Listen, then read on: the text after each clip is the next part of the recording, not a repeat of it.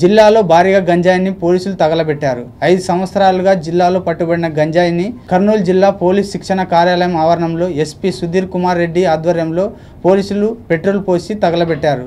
జిల్లా వ్యాప్తంగా నూట నాలుగు కేసుల్లో దాదాపుగా నాలుగు వందల కేజీల గంజాయిని పట్టుబడిందని ఎస్పీ తెలిపారు. దహనం చేసిన గంజాయి విలువ పదహారు లక్షల విలువ చేస్తుందని ఎస్పీ తెలిపారు. ఈరోజు కర్నూలు జిల్లాలో డ్రగ్ డిస్పోజల్ కమిటీ మీటింగ్ చేయడం జరిగింది.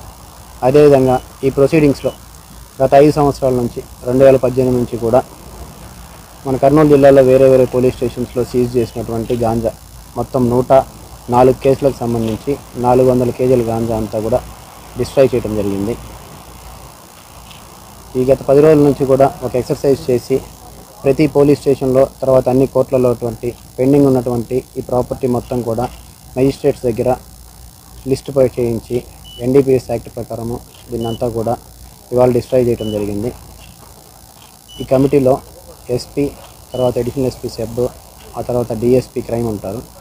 అందరూ కూడా ఈ అంతా సీజ్ అయినటువంటి మెటీరియల్ కూడా ఈ మెజిస్ట్రేట్స్ మనకి పర్మిషన్ ఇచ్చారు. దాన్ని తీసుకొని ఎన్డీపీఎస్ యాక్ట్ ప్రకారం ప్రొసీడింగ్స్ చేసి దీనంతా కూడా పంచనామాలో డిస్ట్రాయ్ చేయడం జరిగింది. అంతా కూడా కాల్ చేయడం జరిగింది.